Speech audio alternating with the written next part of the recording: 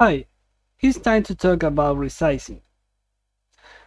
As you can see in our project, we have an issue when we try to resize the window. For example, pressing F12 to see in order to see the development tools. And the window, the image, the canvas the, is not resizing. So we can fix the problem just using JavaScript. So now to fix that problem, we are going to create an ECMAScript 6 module named resizing resize sorry. And we are going to create a class named resize and we are going to create an instance named resize easy peasy. In the method in the method start we are going to put uh, we are going to receive a renderer and it will be a property of this class. But we are going to set by default this property as null. And we are going to add to the window an event listener. The event resize is going to trigger a handle event handler name this resize and we are going to bind the context which will be the same instance.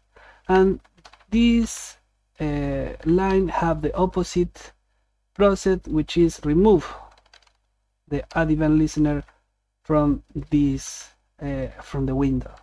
So in the method resize we are going to use this which is going is pointing to the instance the same instance of the class and it's going to point to the renderer of that instance. And here we are going to do as the same thing we have done here. Copy the new size of the window because we are assuming that the canvas has the same size of the window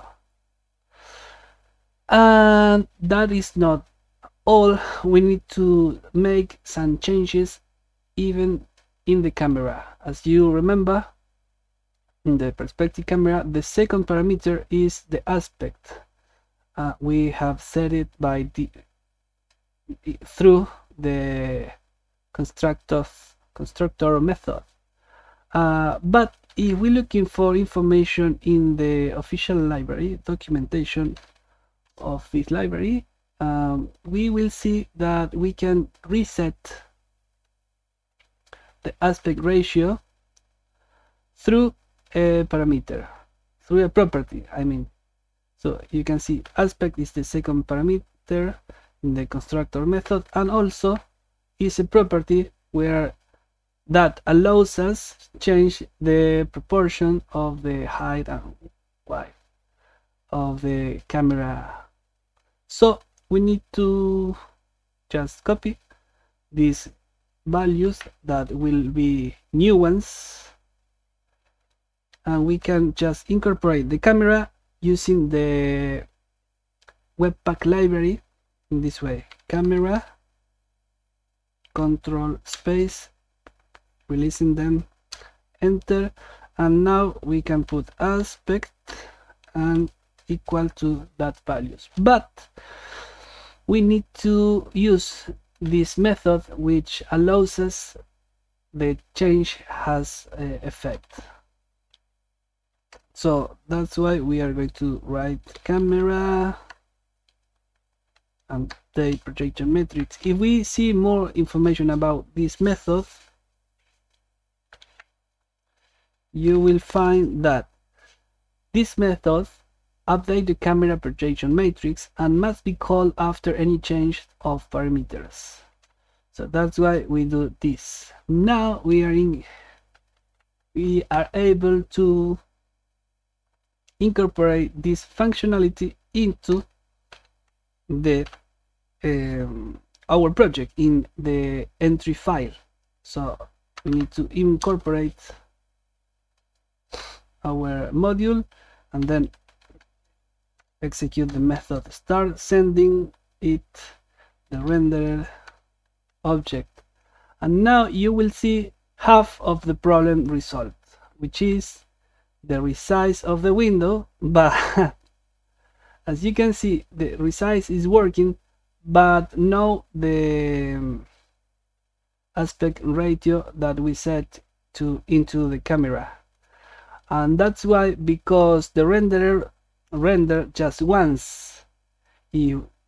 So the something that we have to do is execute this line again after the resize but it's not a common practice. That is common practice is put this line into a loop for example in set interval in a set interval functionality of JavaScript maybe approximately 30 times by seconds and now you will see the functionality working into a loop. In the next chapter we will see how to improve the loop functionality in order to um, handle the stop and the restart of the loop. So stay around. See you in the next lesson.